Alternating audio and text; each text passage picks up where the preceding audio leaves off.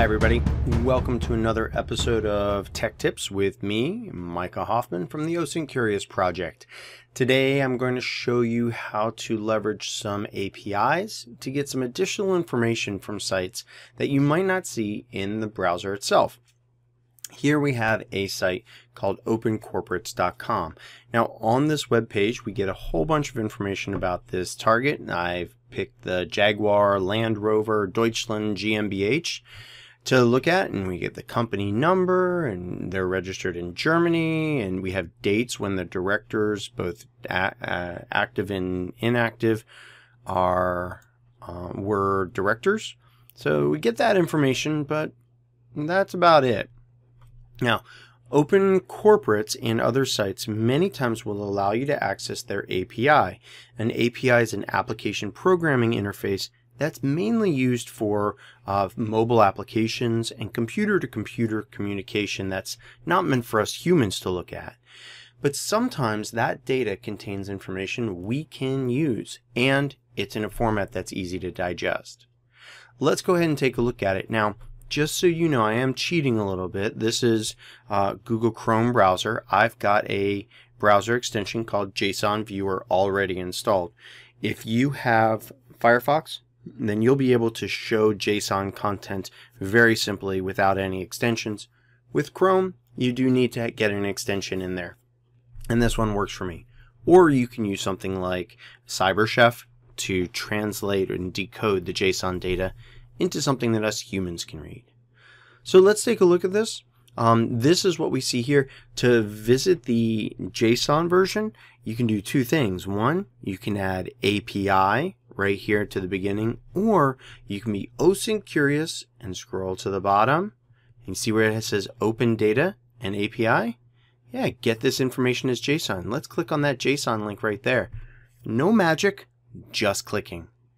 Now right off the bat, you can tell it looks different, right? Here we have the classic JSON format with the curly brace and then parameter and value, parameter and value. And we have that company number that we saw on the other page, jurisdiction code, instead of saying Germany, it says DE for Deutschland. All right. We have other flags here that are either empty, null, or false. But we get some information here that wasn't shown on the other page. For instance, when that record was created, when it was last updated, and when it was retrieved uh, within the Open API site and the Open Corporate site. Um, so this information can help you identify how old the data is or, or other, other types of information about it. For instance, here it was retrieved at 2010, 10, uh, 2018, October 17th at 2.58 in the afternoon, UTC, and it was retrieved from this site. So you have a little bit of source information, you have the dates, and this shows up in the API, in the JSON, not in the rendered source code.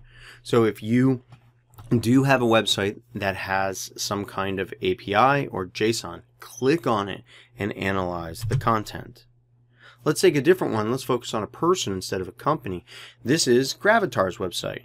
Gravatar is a globally recognized avatar and what they do on this site is they allow you to post a picture, like this person, Theodore, has posted his picture up here. And then he can point other sites to use this picture for his avatar instead of having to post the same picture on five different sites. Saves time.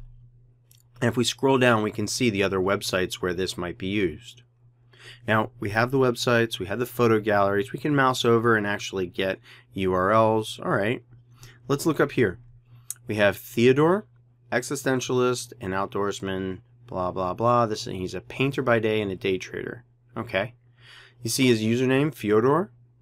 Watch this. When you hit the JSON button, which gets this more in like an API format, a JSON format, we get a lot more information, including a unique identifier, this hash value. The hash value is the user's email address, MD5 hashed.